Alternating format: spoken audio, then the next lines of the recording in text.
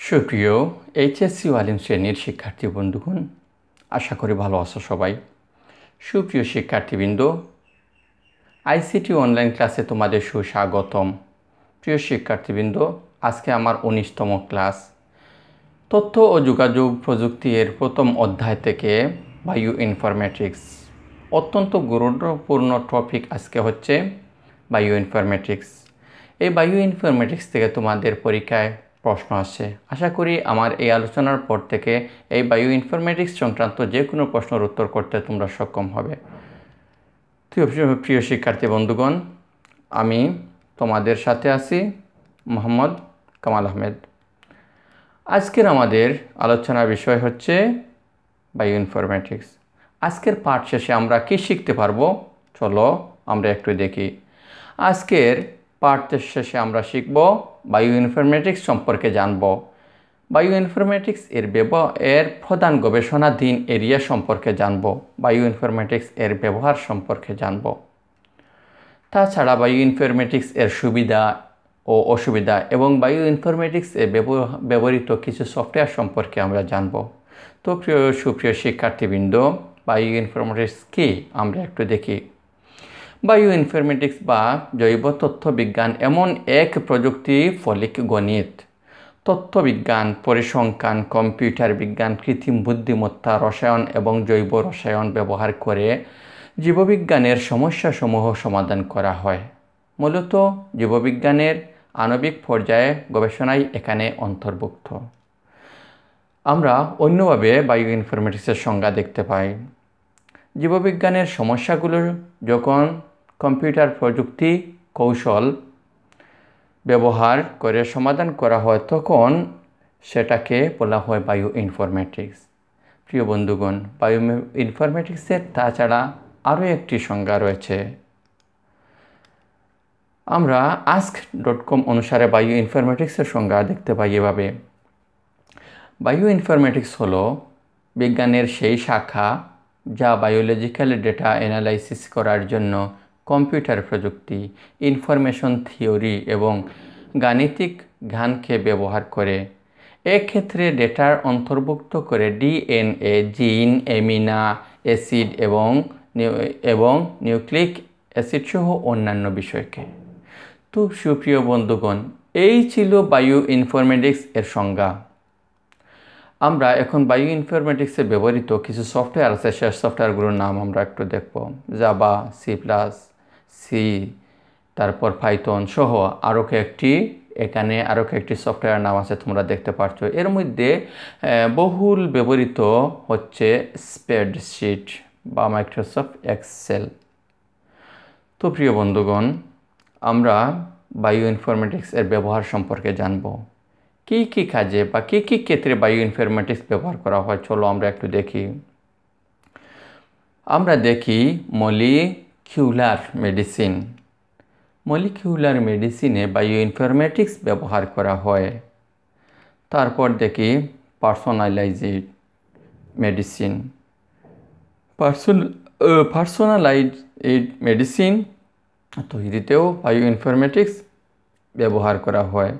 তাছাড়া প্রিভেন্টেটিভ মেডিসিন তারপর আমরা দেখি চার নম্বর জেন থেরাপিতে বায়োমেটিক্স ব্যবহার করা হয়।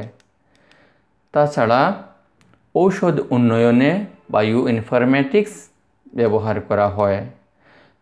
তাছাড়া মাইক্রোবালয় জেনোম অ্যাপ্লিকেশন এ বায়ো ইনফরমেটিক্স ব্যবহার করা হয়। তাছাড়া ওয়াস্ট ক্লিন আপ এ বায়ো ইনফরমেটিক্স ব্যবহার করা হয়। তাছাড়া আবহাওয়া পরিবর্তন শিক্ষায় বায়ো ইনফরমেটিক্স ব্যবহার করা হয়। বিকল্প শক্তির উৎস হিসেবে বায়ো ইনফরমেটিক্স ব্যবহার করা হয়। তাছাড়া বায়ুর বায়ো টেকনোলজিতে বায়ো ইনফরমেটিক্স ব্যবহার করা হয়। অ্যান্টিবায়োটিক রেজিস্টে রেজি রেজিস্ট্যান্স অ্যান্টিবায়োটিক রেজিস টেন্স এ বায়ু ইনফরমেটিক্স ব্যবহার করা হয়। তাছাড়া মাইক্রোসে মাইক্রোবেস এ ফরেন্সিক বিশ্লেষণের ক্ষেত্রে বায়ো ইনফরমেটিক্স ব্যবহার করা হয়।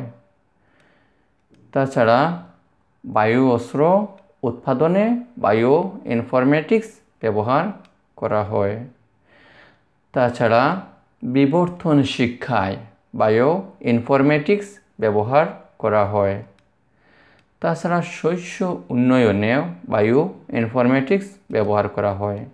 কীট প্রতিরোধে শস্য ক্ষেত্রের কীট প্রতিরোধেও বায়ো ইনফরমেটিক্স ব্যবহার করা হয়। তাছাড়া পুষ্টিমান উন্নয়নেও বায়ো ইনফরমেটিক্স ব্যবহার করা হয় এবং খরা প্রতিরোধ উন্নয়নেও বায়ো ইনফরমেটিক্স ব্যবহার করা হয় এবং ভেটেরিনারি বিজ্ঞানের ক্ষেত্রেও বায়ো ইনফরমেটিক্স ব্যবহার করা হয়। বন্ধুগণ, আমরা এতক্ষণ বায়ো ইনফরমেটিক্সের ব্যবহার সম্পর্কে জানলাম। চলো, এখন আমরা একসাথে কিছু বায়ো ইনফরমেটিক্স দেখি, যেগুলো তোমরা লিখে রাখতে পারবে বা এখান থেকে শিখে নিবে। তো সিকুয়েন্স বের করা এবং তাপ ত্রিমাত্রিক মডেল তৈরির ক্ষেত্রে বায়ো ইনফরমেটিক্স ব্যবহার করা হয়। জীববিজ্ঞানের বিভিন্ন শাখায় বায়ো বায়ো ইনফরমেটিক্স ব্যবহৃত হয়। মলিকুলার জীববিজ্ঞান জেনেটিক ও জিনোমিক্স এর ক্ষেত্রেও বায়ো ইনফরমেটিক্স ব্যবহার করা হয় কম্পিউটার বিজ্ঞান গণিত এবং প্রকৌশলকে বায়োলজিক্যাল ডেটা বিশ্লেষণ করতে বায়ো ইনফরমেটিক্স ব্যবহৃত হয় জটিল যন্ত্রপাতি বায়োলজিক্যাল ডেটা পড়ার জন্য বায়ো বায়ো ইনফরমেটিক্স ব্যবহার করা হয় বায়োলজিক্যাল ডেটা বিশ্লেষণ করার ক্ষেত্রে করার কাজে কৃত্রিম বুদ্ধিমত্তা সফট কম্পিউটিং ডেটা মাই ডেটা মাইনিং ইমেজ প্রসেসিং এবং এবং সিমুলেশন অ্যালগোরিদম ব্যবহার করার ক্ষেত্রে বায়ো ইনফরমেটিক্স ব্যবহার করা হয়। তো সুপ্রিয় বন্ধুগণ, এই ছিল বায়ো ইনফরমেটিক্সের ব্যবহার। এখন চলো আমরা বায়ো ইনফরমেটিক্সের কিছু সুবিধা আছে সেই সুবিধাগুলো একটু দেখব। বায়ো ইনফরমেটিক্সের সবচেয়ে বড় সুবিধা হচ্ছে এটা অত্যন্ত আধুনিক প্রযুক্তি। তাছাড়া অ্যালগোরিদমিক ডেটা মাইন, মাইনিং করা সম্ভব, তারপর প্যাটার্ন রিকগনিশন করা সম্ভব। তাছাড়া বায়ো ইনফরমেটিক্স এর কিছু অসুবিধা আছে, সে অসুবিধাগুলো হচ্ছে অত্যন্ত ব্যয়বহুল প্রযুক্তি। তথ্যের গোপনীয়তা প্রকাশ পেতে পারে বেশ জটিল প্রযুক্তি। তো প্রিয় শিক্ষার্থী বন্ধুগণ বায়ো ইনফরমেটিক্স থেকে এই ছিল আমার সংক্ষিপ্ত আলোচনা। আশা করি বায়ো ইনফরমেটিক্স সংক্রান্ত যে কোনো প্রশ্নের উত্তর করতে তোমরা সক্ষম হবে। আজকের এই আমার আলোচনা থেকে তোমাদের কিছু বাড়ির কাজ দিচ্ছি। আমার এই আলোচনা থেকে তোমরা সেগুলো সংগ্রহ করে লিখে রাখবে। তো, প্রথম প্রশ্ন বায়ো ইনফরমেটিক্স কি? এর সংজ্ঞা লিখো। দুই বায়ো ইনফরমেটিক্স এর প্রধান গবেষণাধীন এরিয়াসমূহ লিখো। তিন বায়ো ইনফরমেটিক্স এর ব্যবহার লিখো। তাছাড়া বায়ো ইনফরমেটিক্স এর সুবিধা এবং অসুবিধাগুলো তোমরা লিখে রাখতে পারো। প্রিয় শিক্ষার্থী বন্ধুগণ, এতক্ষণ তোমরা আমার সাথে থাকার জন্য ধন্যবাদ। আমি কামাল আহমেদ। তোমাদের তথ্য যোগাযোগ প্রযুক্তির দীর্ঘদিন থেকে ধারাবাহিকভাবে গুরুত্বপূর্ণ টপিক নিয়ে আলোচনা করছি। আশা করছি সমস্ত বই এভাবে আমি তোমাদের আলোচনা করে তোমাদের দিয়ে দিব ইনশাল্লাহ। তাছাড়াও তোমাদের যদি কোনো প্রশ্ন থাকে তাহলে আমার ফেসবুক আছে হোয়াটসঅ্যাপ ইমো আছে, আমার ইউটিউব চ্যানেল এর নাম হচ্ছে আইসিটি অনলাইন স্কুল তোমরা এর মাধ্যমে আমাকে যদি প্রশ্ন করো তাহলে আমি উত্তর দেওয়ার চেষ্টা করব। আজ এই পর্যন্ত।